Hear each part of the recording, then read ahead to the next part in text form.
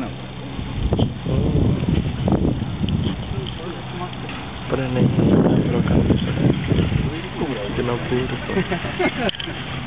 Quem cobrou o olho, caralho?